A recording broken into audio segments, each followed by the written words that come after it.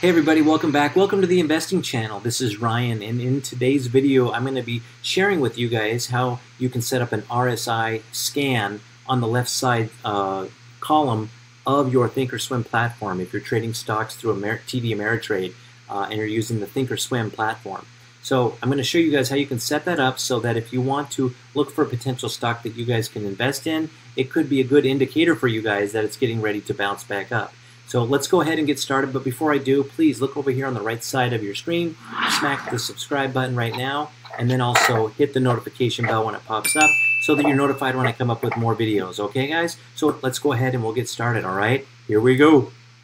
All right, so we'll get going here. I'm going to move my photo, my video of me down to the bottom left-hand corner. Typically, I like to have it up here, but there's some buttons I'm going to be going to up here, and I want you to be able to see what I'm doing.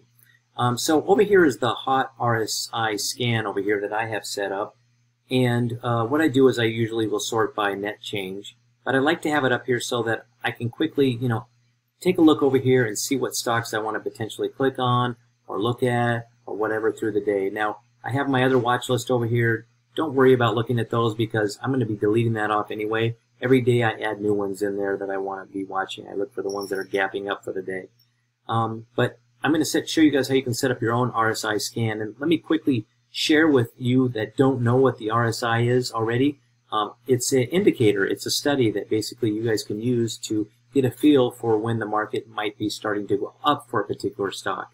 So you'll see here, uh, right here in the center of the screen, you'll see two yellow bars going across the screen right here, the, the upper one and the lower one.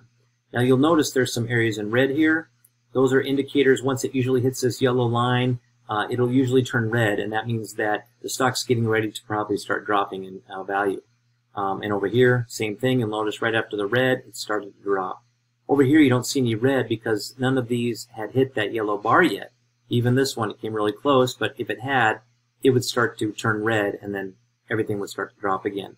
So the same thing with the blue area here. Once uh, the line hits the blue, or excuse me, once the line hits the yellow area, down at the bottom, and if it turns blue, it's usually a good indicator that means that it's going to be going up here soon. So it's not the only indicator that you guys want to use. I use other ones like the MACD and the Voss predictive uh, filter, um, but you can do whatever one you want. So I'm going to show you guys how you guys can uh, have an RSI scan.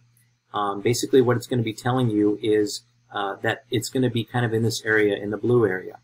Um, so let's just click on a few here and you'll notice that uh, at certain times the scan had probably clicked on or started to appear when it uh, when it hit a certain area right in here, letting you know. So if you're in here and you're just wait, looking for a stock you want to go after, you basically could just kind of click through here and see where it's at and start following it because this scan, the stock might appear maybe somewhere in this in this particular area here, and it's you know that like oh it's dropping here, but it's probably going to be bouncing back up here shortly. So it's just a, it's just provides you with stocks that are close to a certain line. And if you look over here, it's the yellow line's kind of uh, roughly at the 30 mark right here.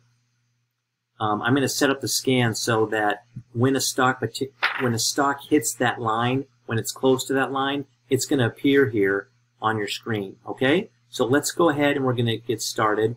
Uh, what I'll do is I'll come over here to the right side margin.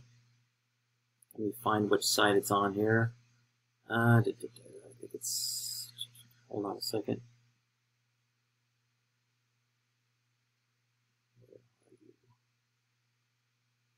Oh, I've got to go to scans. Sorry. Got to go to the scans tab up at the top. I knew I was missing something. And then over here, load scan query. So what I do is I come over here on the drop down and I click create new scan query. And what I'd like to do is, you see how I can scroll a little bit, but it's pretty tight right here. So I grab just above this black area, there's a line, and you'll see your mouse kind of change shapes. I like to drag that down, give me some more space.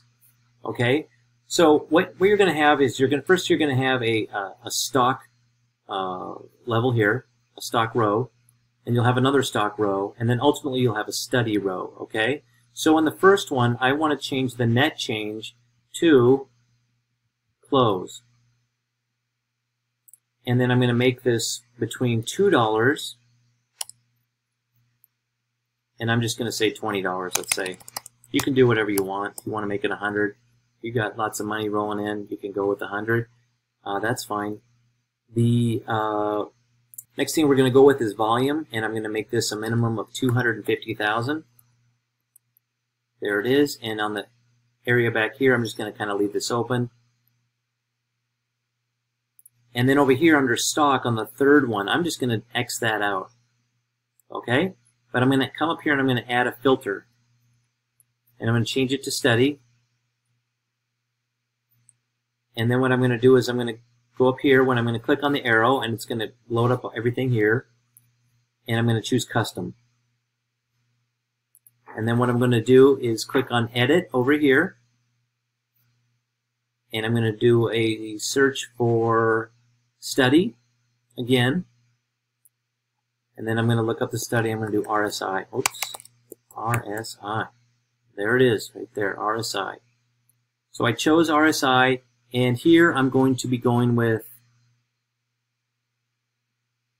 less than or equal to. Let me see what I did here.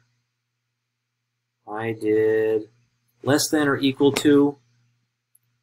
And I'm up here, I'm going to check, select a condition. I'm going to choose a value.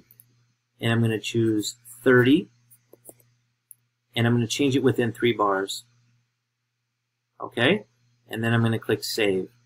Now, if you guys need to watch this uh, again, I know it's kind of a lot, and I don't know why it's not easier to set up this third component, but you do have to click on a few uh, uh, links along the way, probably more than you really need to.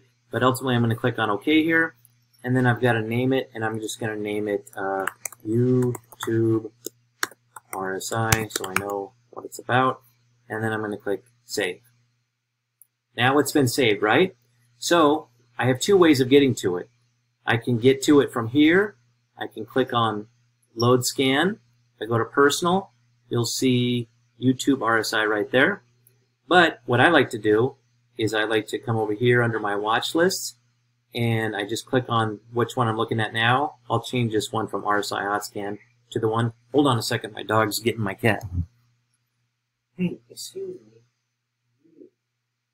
me. No. Come on. Get. Let's get out of here. Come on, get up here. Come on, up, up, get up on, up, get up on the bed. There you go. Okay. So uh, what I'm going to do is I'm going to come over here to personal and I'm going to change it to YouTube RSI. Okay. And here it is. It's all loaded up. It's going to be dynamically changing throughout the day.